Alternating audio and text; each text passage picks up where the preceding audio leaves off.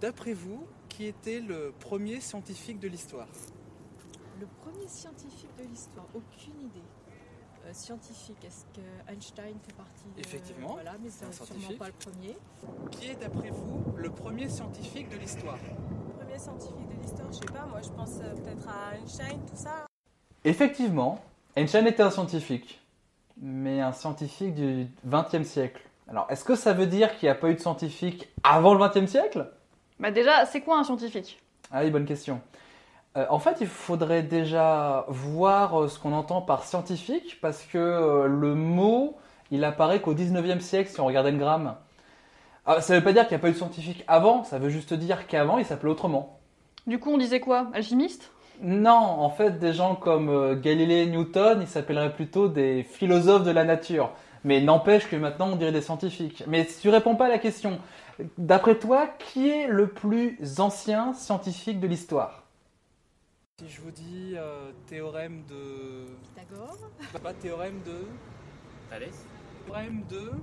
Ah, Pythagore peut-être? Ah bah par exemple, Pythagore. Et euh, Pythagore, c'est pas le plus vieux, il y en a un qui est juste un, un tout petit peu plus vieux. Théorème de... Euh, Il y a Thalès aussi? Oui Eh ben oui, Thalès. Thalès comme la boîte? Ah non, comme le gars. Ah oui, le mathématicien grec. Alors en fait, il vivait en Turquie, à Milet, pour être plus précis.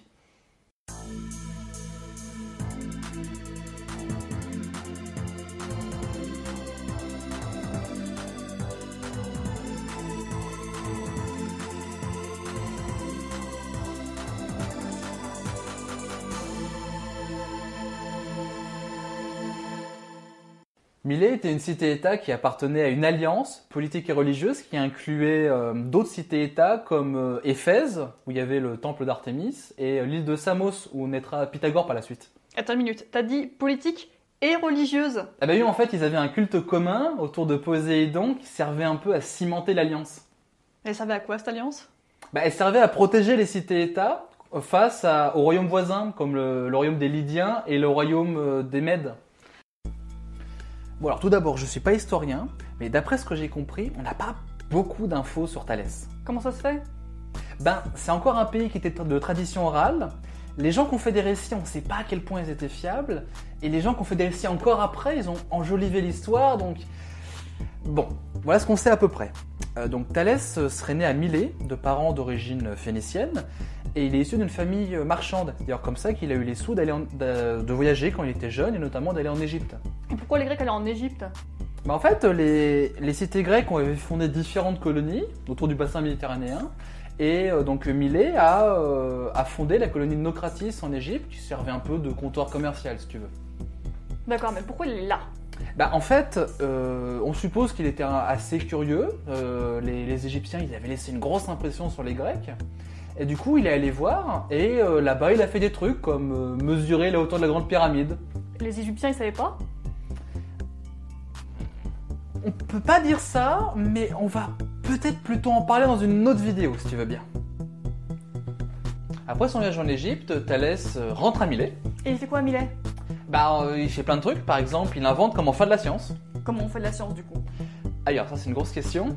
Euh, on va peut-être y répondre plutôt dans une autre vidéo, notamment où je parle du fait qu'ils font d'une école de pensée. Et pour l'instant, j'aimerais juste finir sur sa carrière politique.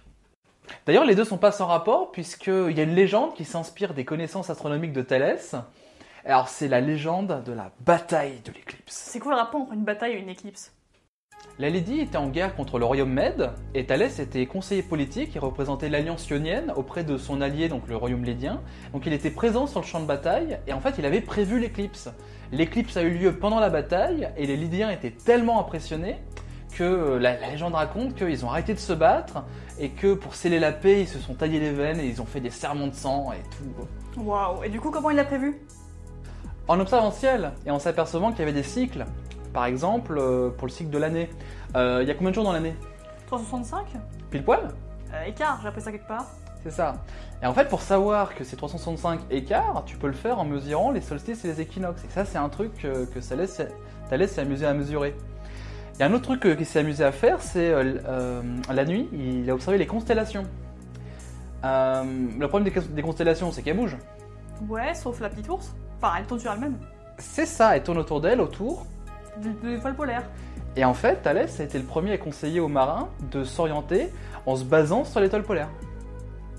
Ok, alors si j'ai bien compris, Thalès c'est un astronome qui est aussi ambassadeur et qui participe aux batailles.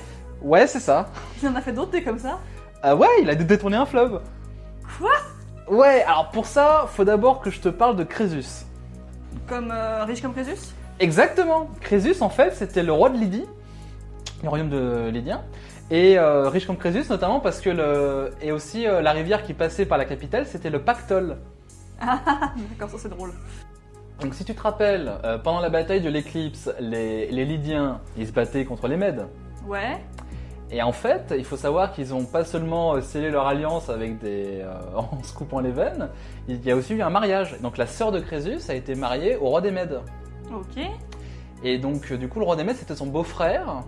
Et euh, Crésus s'est vachement inquiété lorsque son beau-frère s'est fait éject- éjecter de son trône par les Perses. Tu m'étonnes. Et quand ton beau-frère perd son trône, qu'est-ce que tu fais? Ah bah déjà tu l'héberges Ah bah oui, sauf qu'il est mort. Ah bah zut. Euh, du coup tu le venges?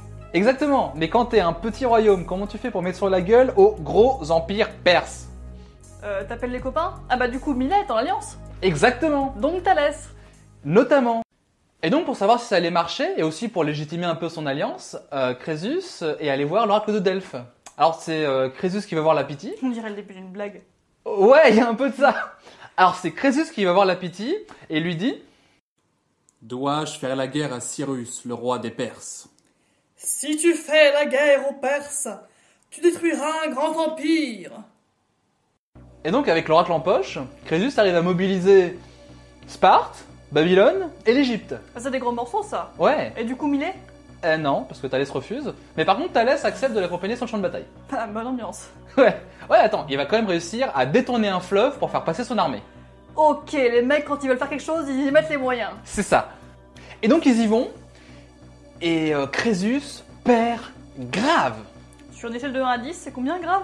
Euh, au moins 12.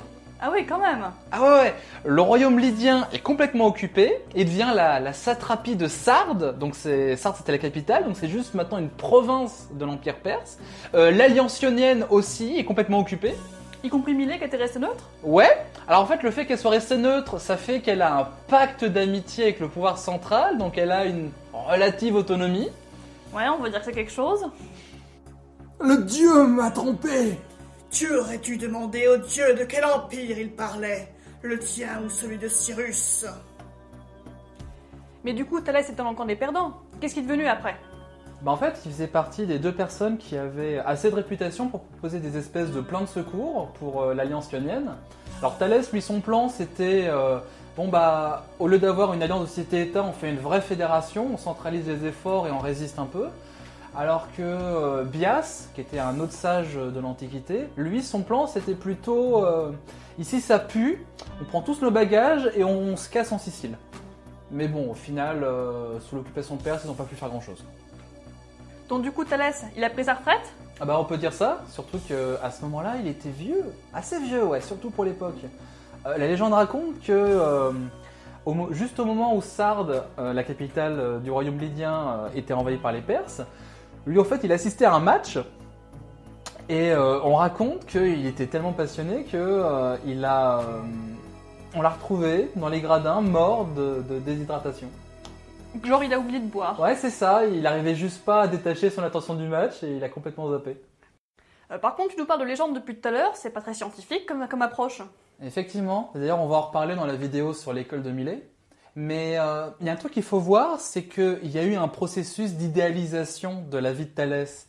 Et au final, ça nous en apprend pas forcément beaucoup de choses sur la vie de Thalès en tant que tel, mais ça nous apprend pas mal de choses sur la, la figure du sage dans, dans les Grèces antiques. Tiens, par exemple, euh, Thalès a été utilisé comme exemple, comme espèce de figure emblématique par différentes personnes, mais parfois pour des raisons différentes. Par exemple, Platon, il rapporte l'histoire que euh, Thalès euh, se baladait avec une servante, il observait les étoiles, et puis il observait tellement les étoiles qu'il est tombé dans un puits, et la servante se moque de lui en lui disant « Ah, tu prétends connaître les mystères du cosmos, mais t'es même pas foutu de regarder de là où tu mets les pieds. » Et en fait, euh, là, Platon, il voulait montrer que le philosophe, euh, il devait euh, s'écarter des affaires de la cité, etc. Alors que Aristote, lui, il a rapporté une anecdote de que Thalès, il se serait aperçu qu'il y avait une très grosse récolte d'olives. Donc du coup, il a acheté tout de suite tous les pressoirs à olives de la région. Et comme il avait le monopole, il a pu se faire une marge de ouf. Et donc comme ça, par la spéculation financière, euh, il a réussi à démontrer à ses citoyens que euh, le fait d'avoir des connaissances et de pouvoir prévoir les choses, c'était quelque chose d'utile et c'était pas quelque chose qui était réservé aux seuls philosophes. Et donc, euh, on a vraiment deux démarches très différentes entre Platon qui récupère Thalès juste pour dire ah bah il est hors de la cité, c'est comme ça que ça doit être, et Aristote qui récupère Thalès pour dire exactement le contraire.